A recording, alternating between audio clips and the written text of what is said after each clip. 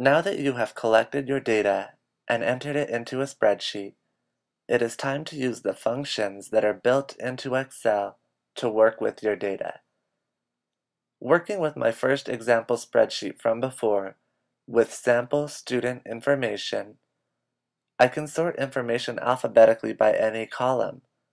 Student name in this example, by selecting Data and Sort. To make sure your data in the other columns is aligned when you alphabetize, choose Expand this selection.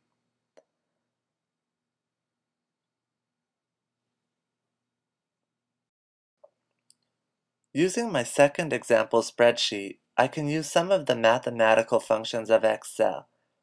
I can, for example, add a new row called Total that will add up my expenditures for the month. To have Excel do the addition, I simply need to click the cell that I want to display the sum, click the Auto Sum button at the top, select Sum from the drop-down menu, and then select the cells that I want to be included in the calculation. Usually, the cells directly above the calculated cell will be highlighted by default, but you can select any cells you will like. I will drag this formula across the row by making sure the plus is showing, then clicking and dragging it across the cells that I wish to include the formula. Excel will automatically adjust the formula to sum the column directly above each cell.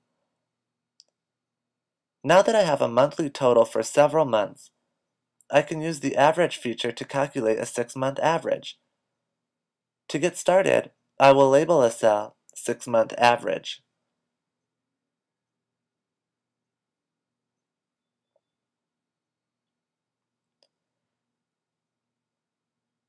I will now select the cell next to it.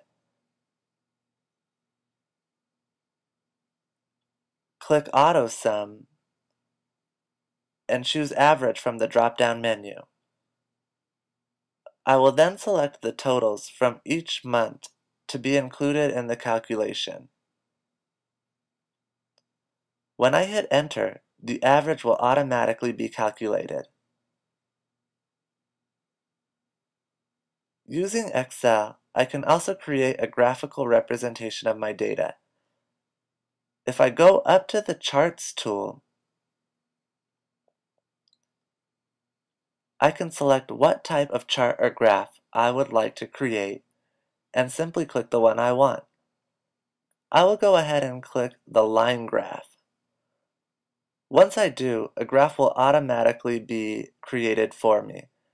If it does not show the data I want, I can right-click on the graph, click Select Data, and then change the information to reflect what I am trying to do.